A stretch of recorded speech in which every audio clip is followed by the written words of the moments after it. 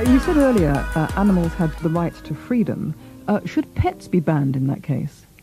I think that's a difficult question. I mean, uh, I think that companion animals are in some some uh, ways wandering between two worlds. They don't really quite belong in uh, small apartments in which many of them live, and at the same time, uh, Chihuahua is not ready to be re- reintroduced to the wild.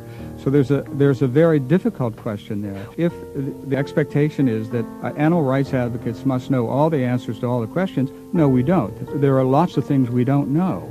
There are lots of difficult questions that divide people of goodwill. But the fundamental question is not what do we do about cases like this, but do we have the right to take animals, take their lives, invade their body, and deprive them of their liberty in pursuit, in a systematic way, in a systematic way, not for their good, but for our good.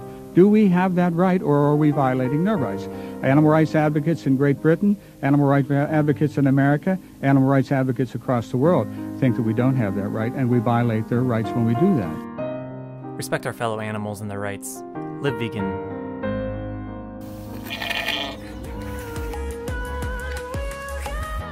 Thanks for watching, and for free resources, such as a discussion guide and language document, check out veganinteractions.com. Thanks for watching.